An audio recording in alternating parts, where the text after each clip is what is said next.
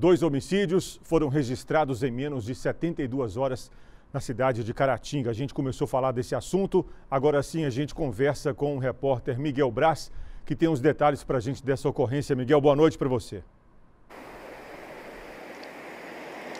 Saulo, boa noite para você, boa noite a todos que estão conosco por esta edição.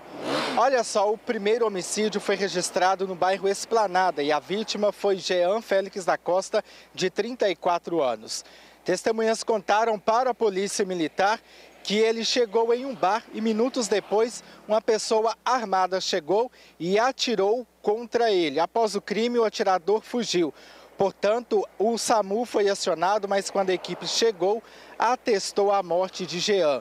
A Polícia Civil esteve no local realizando os trabalhos de perícia e constatou que o homem foi morto com um tiro no peito. O corpo dele foi encaminhado para o IML da cidade.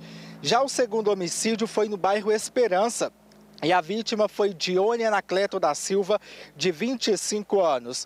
De acordo com o boletim de ocorrência, após ser alvejado, algumas testemunhas o levaram para um hospital da cidade, mas ele morreu durante atendimento. No local do crime, a polícia militar recolheu projéteis de arma de fogo e pinos de cocaína. Portanto, os trabalhos nos dois casos continuam para identificar a autoria e a motivação desses dois assassinatos na cidade de Caratinga. Saulo.